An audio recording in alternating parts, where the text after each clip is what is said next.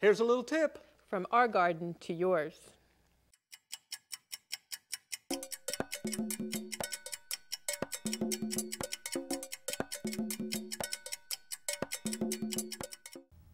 I just weeded the garden two days ago and already the weeds are popping up and that's why garden weeds are the topic of our two minute pest. Tom, do you like to weed? No, I'm going to say it's your problem.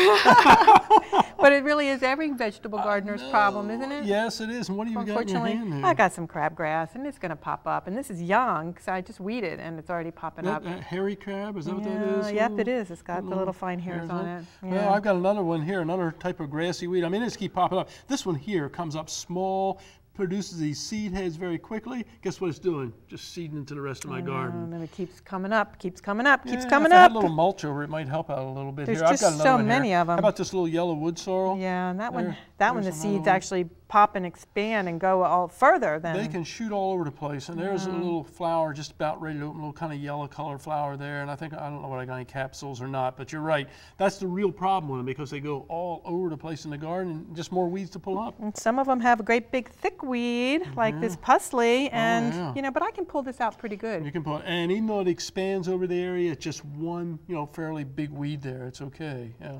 yeah. How about some spurge? Oh yeah. Yeah, we got a got relative of, of this one that we like an awful lot. You know, it's the uh, poinsettia relative there. I don't know whether this will do it or not. Let's see if it'll do it. But the, one way to tell if you break it, oh yeah, look at the milky sap come out.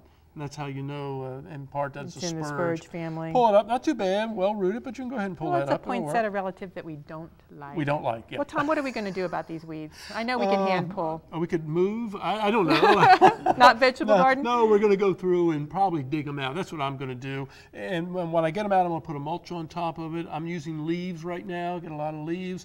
If you wanted to, you could probably hit them with vinegar, full strength vinegar, or there's some soap insecticides out there, natural insecticide. I'm not, uh, herbicides. Natural herbicides. Yeah, herbicides. Mm -hmm. Well, weeds are always going to be a problem in the vegetable garden, and if you plan to have a vegetable garden, you better plan on hand pulling some weeds.